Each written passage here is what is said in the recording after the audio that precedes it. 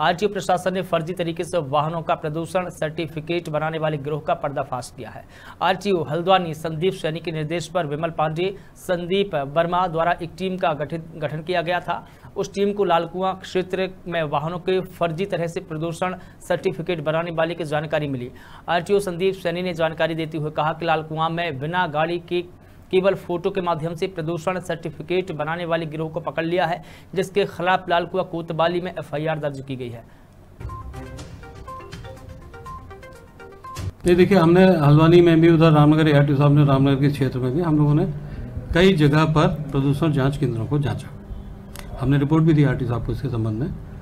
और गड़बड़ है, इसीलिए हम लोग जांचते हैं। गड़बड़ होने की संभावना, हमको शिकायतें मिलती हैं। कहीं ना कहीं कुछ ऐसा होता है तो आ, हमने ये आर साहब ने आर सर ने टीम बना दी है और हम लगातार ये कार्रवाई करते रहेंगे। हम इसमें नए नए फॉर्मूले सोचेंगे कि किस तरीके से हम उन लोगों को पकड़ सकें। सर अभी कितने लोगों के द्वारा कार्रवाई की गई है आपके पास? नहीं मेरे द्वारा जो इससे पहले छः सात लोगों को चेक किया गया उनमें मुझे कोई ऐसी कमी नहीं दिखाई दी।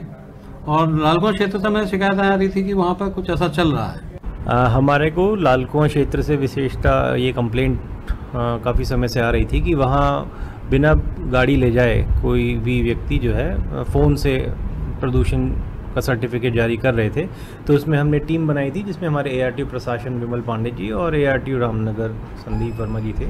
चार लोगों की टीम थी। पहले हमारे ऑफिसर्स ने वहाँ रेकी करी, देखा कि ऐसे लोग क्या क्या काम कर रहे हैं। उसके बाद एक जो इस टाइप का काम कर रहे थे, उसको पुलिस के हवाले कर दिया गया और पुलिस को तहरीर दी गई है कि अगर इसमें और भी आगे जाँच करें वहाँ पर। लालकुआं क्षेत्र में अगर ऐसी कोई और चीज़ें मिलती हैं तो उस पर विधिक कार्रवाई करेंगे।